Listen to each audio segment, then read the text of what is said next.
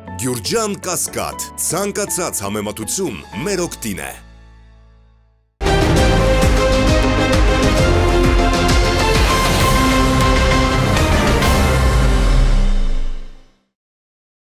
Բարև ձեզ սիրելի հայրենակիցներ, ժամը 21:30 րոպե, եթերում ինչպես միշտ Media Post Factum-ն է։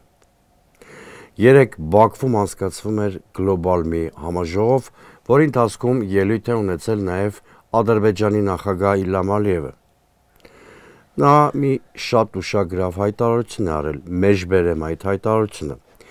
2018 թվականին, ինչպես նշել է նա, Համաձայնություն գալու հնարավորություն կար, երբ Հայաստանում իշխանություն փոխվեց։ Ըստ Ալիևի Հայաստանի նոր կառավարությունից ստացել էին հավաստիացումներ, որ իրենք իրենց կպահեն միջազգային իրավունքին համապատասխան եւ տարածքները կվերադարձվեն։ Դիտենք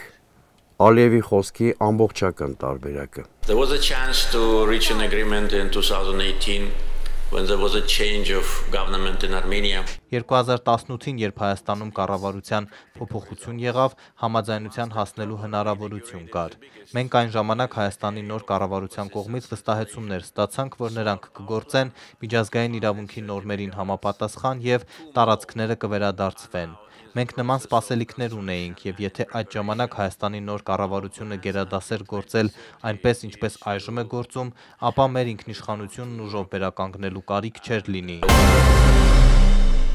Եվ այսպես Ադրբեջան նախագահ խիստ ուշագրավ հայտարարություն է անում։ Նա փաստորեն ասում է, որ երբ Հայաստանում իշխանություն է փոխվել, Նիկոլ Փաշինյանը խոստացել է փողզիջումների գնալ, անգամ շորտ տարածներ հանձնել։ Հիմա այստեղ երկու շատ ուշագրավ հանգամանք կա։ Արդյոք Ալիևը ի նկատի ունի սեղանին դրված կարգավորման փաթեթը։ Խոսքս 2019 թվականի մայիսին կողմերին ներկայացված այսպես կոչված Լավրովի պլանի մասին է, որը ենթադրում էր, որ հայկական ուժերը պետք է դուրս գան Լեռնային Ղարաբաղին հարակից 5 շրջաններից, իսկ Ղարաբաղը, Լաչինը եւ Քելբաջարը պետք է մնային հայկական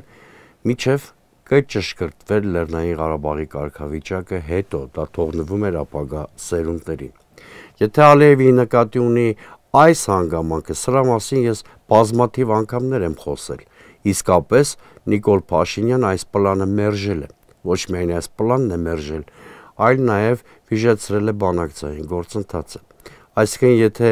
Ալիևի ակնարկը վերաբերում է կարգավորման կոնկրետ պլանին, նա թերևս ոչ մի նորություն չի բացահայտել։ Բայց այ եթե Ալիևը նկատի ունի ինչ-որ այլ պայմանավորվածություն, որը ձեռք է բերվել նրա ու Փաշինյանի միջև,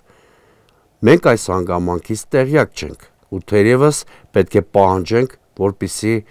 մեր իշխանությունները կամ հենց ինքը Նիկոլ Փաշինյանը պարզաբանում տան Ալիևի խոսքի այս դրվագին։ Համենայն դեպս այս ժամին, երբ ձայնագրվում է մեր հաղորդումը, հայկական կողմից որևէ հերքում կամ պարզաբանում չի հնչել։ Երեք Ալիևը մեկ այլ հայտարարություններ է արել։ Նա բառացիորեն ասել է, քանի որ սեպտեմբերի սկզբին Հայաստանի վարչապետը շնորհավորական նամակ էր հղել Ղարաբաղի անջատողական ռեժիմին, շնորհավորելով այսպես կոչված անկախության կապակցությամբ, սա մեծ ու վատ անակնկալ էր մեզ համար, քանի որ նույն Հայաստանի վարչապետը 2022 թվականի Պրահում կայացած հանդիպման ժամանակ հրաապարակավ ճանաչեց Ադրբեջանի տարածքային ամբողջականությունը։ Հիմա տեսեք ինչ է ստացվում։ Փաշինյանը անդադ կրկնում է եւ նրա այդ թեզը պաշտպանում է ԿՊ վերնախավը, թե իբր Ղարաբաղում տեղի ունեցած նախագահական արտահերտ ընտրություններն են եղել. Ադրբեջանի ագրեսիվ քաղաքականության Արցախի դեմ սանձազերծված ռազմական գործողությունների պատճառը, բայց Ադրբեջանի նախագահը փաստորեն որպես առաջնային պատճառ նշում է Նիկոլ Փաշինյանի շնորհավորական ուղերձը։ Այսինքն նա ակնարկում է, որ Նիկոլ Փաշինյանը մեկ բան պայմանավորվել է դրսում, մեկ այլ բան արել է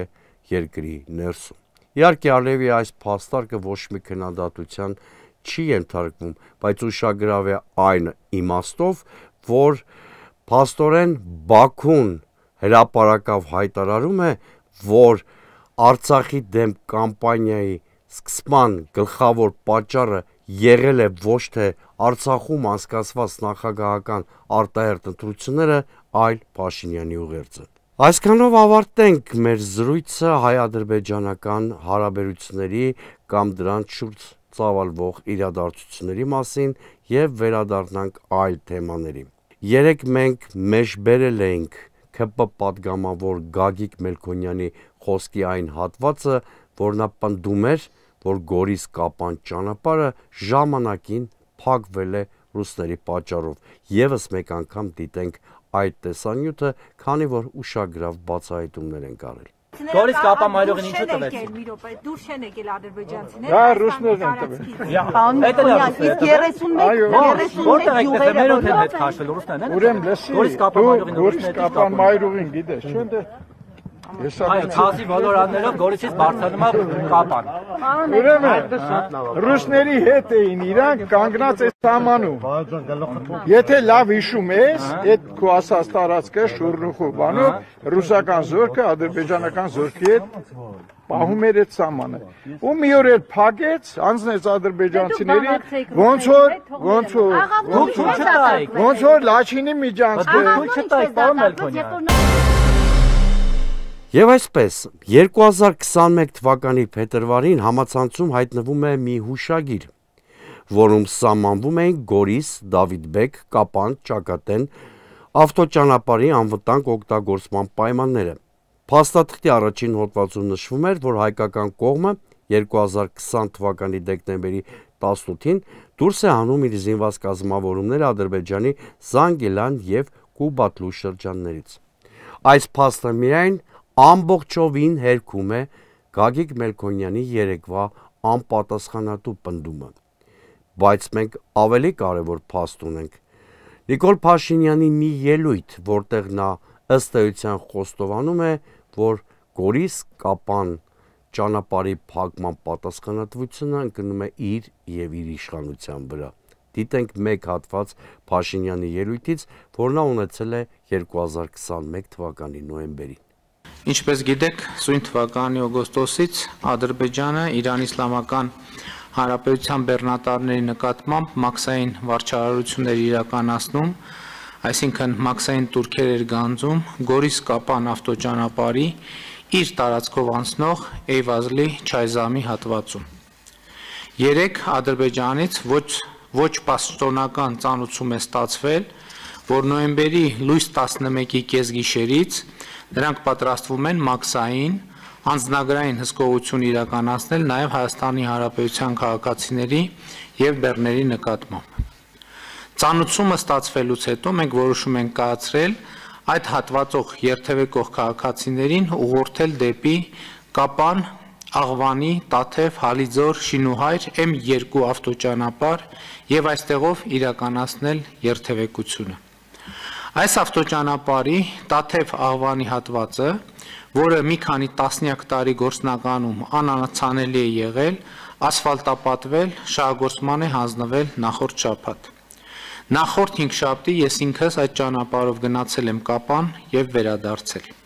Կարող եմ վկայել, որ ստացել ենք իսկապես որակյալ ճանապարհ։ Այսպիսով, եթե առաջնորդվենք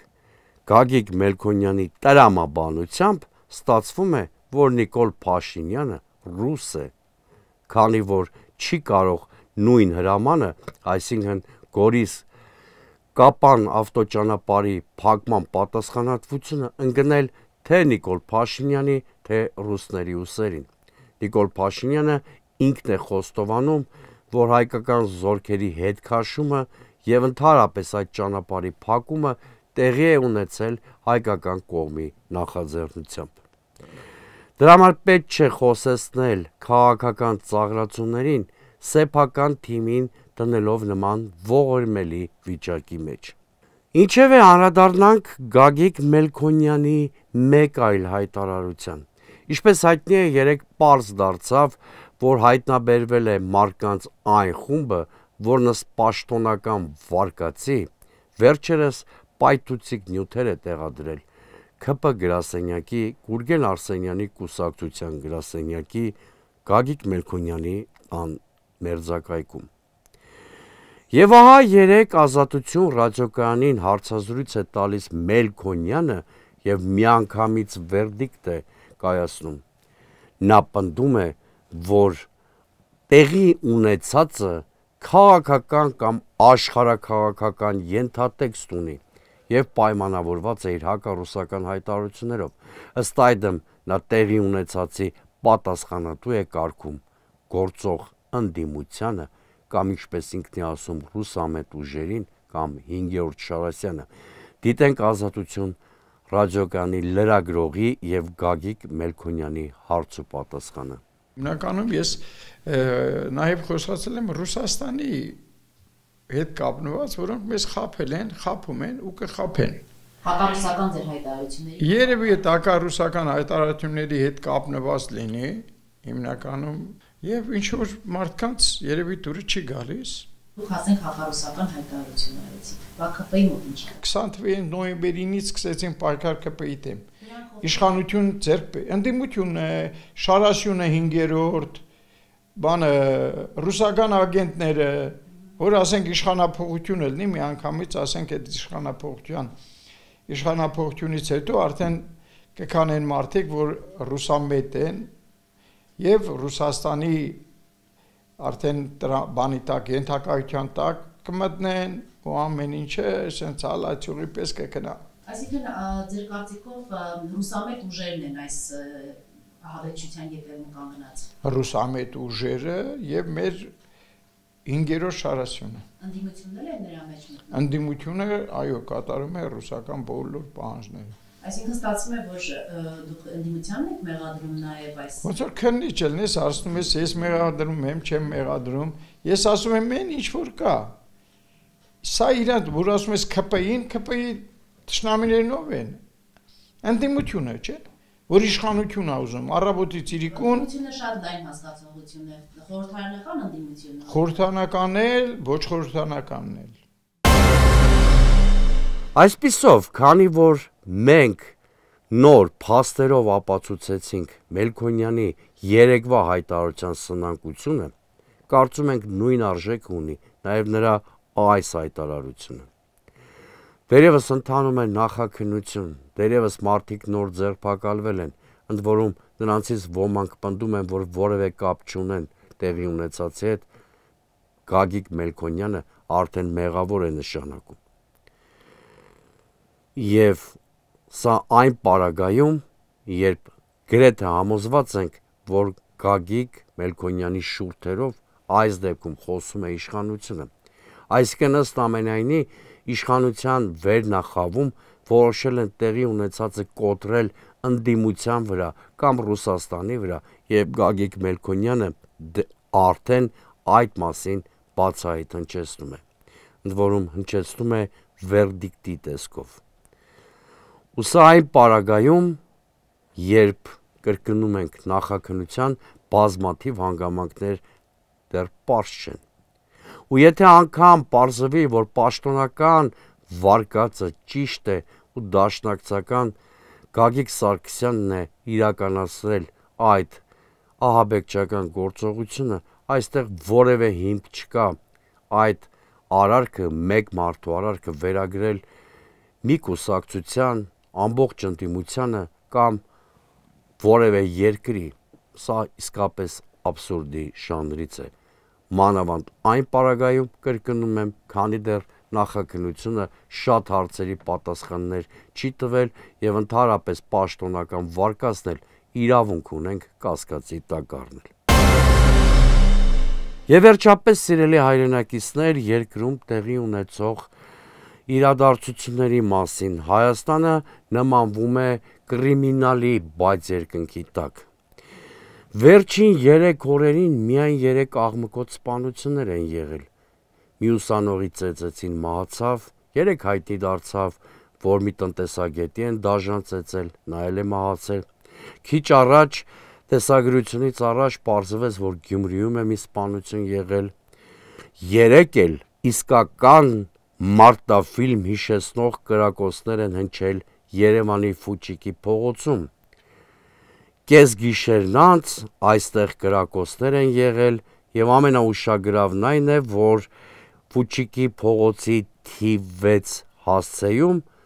հայտնաբերվել են ոչ միայն վիրավոր քաղաքացիներ, այլև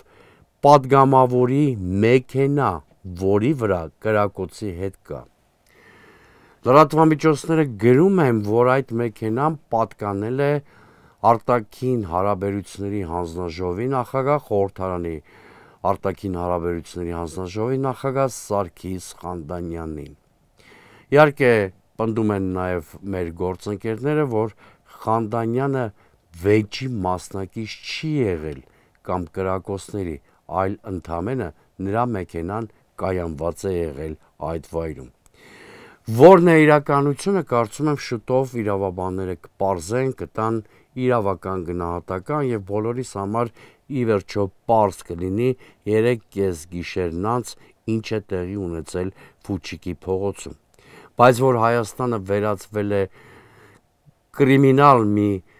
թանգարանի բաց երկնքի տակ, սա արդեն ակնհայտ է։ Այս պարագայում միանգամայն տեղին կլինի պահանջել ներքին գործերի նախարար Վահե Ղազարյանի հրաժարականը։ Եվ ամենևին կապ չունի, որ նա Փաշինյանի ընկերն է կամ դասընկերն է։ Աշճանաբար բեսպրիդելը, սամասուդը, քաոսը դառնում են մեր կյանքի անբաժանելի մաս։ Սիրելի հայրենակիցներ, այսօր ազգային ժողովում է եղել եւ 2023-ի կատարողականի վերաբերյալ ելույթ է ունեցել արտաքին գործերի նախարար Արարատ Միրզոյանը։ Նրա ելույթը ուղեկցվել է նրա եւ ընդդիմության ներկայացուցիչների փոխադարձ մեղադրանքներով ու վիրավորանքներով, սակայն այս մասին ավելի հանգամանալից կանադառնանք երկուշաբթի օրը։ Մինչ երկուշաբթի ժամը 21:30 Música